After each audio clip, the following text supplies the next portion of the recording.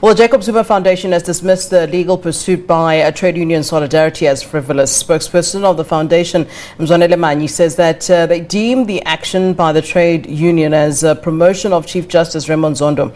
Uh, members of the trade union gathered at the Brooklyn police station in Pretoria to lay charges of corruption, fraud, theft, and mismanagement against, uh, amongst others, former President Jacob Zuma, the former chairperson of SAA Dudu Myeni, and the former head of Transnet and Eskom, Brian Molefe. We hold the view that uh, this prosecution is really a, malicious prosecution. Uh, we think it's a frivolous prosecution. We think it's just a promotion of the work of Zondo, who has failed to produce any credible evidence to convict anyone.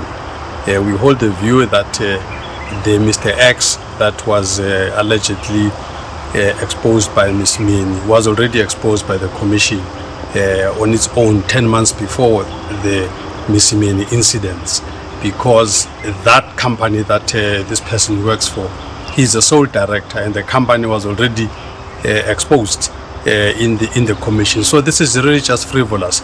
It's something that will not withstand the the stringentness of the Criminal Procedure Act. So for us as a foundation, we're not going to lose sleep over this because we think it's just frivolous. Uh, we are hoping that uh, the postponement, when it's uh, eventually acted upon uh, to be reached in this matter. It's really nothing to write home about.